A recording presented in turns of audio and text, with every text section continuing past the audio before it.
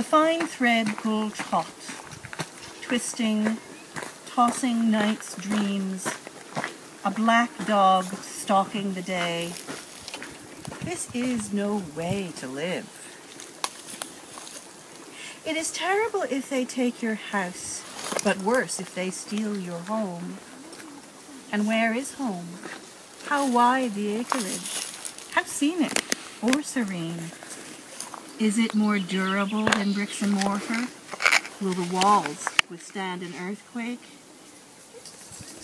If it should all fall down, both house and home, frighteningly, you stand free, there in your one suit of clothing with its name tape sewn into the collar. Do you like the words on the label? Are they true? Are they false?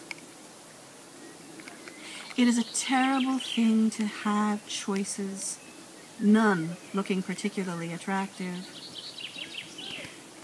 But when you stand there in your one and only suit of clothes, loosen those taut cords of day and nightmares, pat the black dog.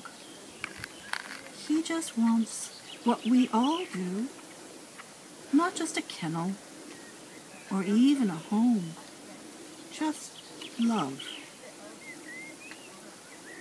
He's not a bad dog.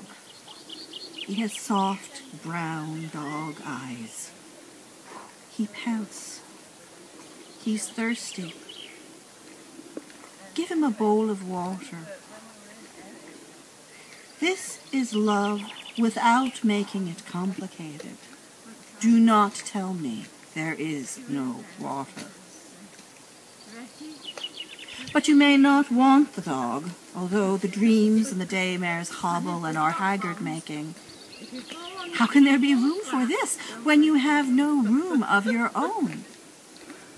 Yet this large black dog will lie beside you, as fierce as the creature appears, as ridiculous, even insane a choice.